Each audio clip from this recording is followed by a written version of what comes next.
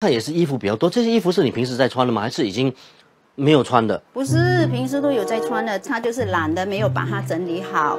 因为我每次都穿一样的衣服嘛，所以洗了就妈妈就会丢在床上，然后过几天后我还是会穿一样的衣服，所以我 just 放那边先。所以这堆衣服就是你平时这整个礼拜常穿的衣服，所以这边里面的衣服是不穿的，可以这样讲吗？对，那这衣服就应该捐出去丢掉不。是不是没有穿，就是比较少穿，因为我上学的时候是 T 恤 and shorts。问你哈，我除我发现除了这个衣衣服很多哦，你还有很多这些好像小孩子玩的东西，从哪里买的？这小时候玩的咯，好像长大后没有用到就就就丢在一边。哎，不过哦，观众可能 feel 不到，不过我按的时候有种疗愈的感觉嘞，它又不是很软，还真的有点疗愈，不像别人怎么按按看哦。